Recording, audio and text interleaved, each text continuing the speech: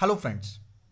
We have a big news related to former Maharashtra CM Narayan Rane's son Nitesh Rane. Yes friends, but before that let me recall you that few days back Shiv Sena worker Santosh Parab had made a complaint in the police that someone attacked him and later Nitesh Rane's name came forward in this case and police started searching Nitesh Rane in this case.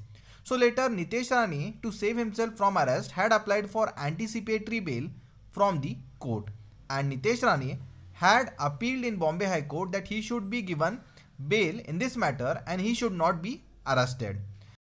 So yesterday hearing was done in the Bombay High Court in this matter and yesterday Bombay High Court had postponed its hearing for today. And news is that today hearing was done in the Bombay High Court regarding this case and today lawyers of both the sides had kept their arguments in front of the court. So now News is that court has reserved its decision regarding the plea of Nitesh Rane seeking anticipatory bail application in this case and Bombay High Court said that we will give decision regarding Nitesh Rane's bail application on 17th January.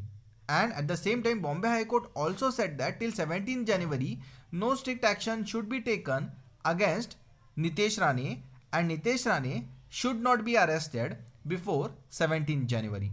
So now we have to see what decision does Bombay High Court gives regarding the anticipatory bail plea of Nitesh Rane. So friends, this is the news as of now.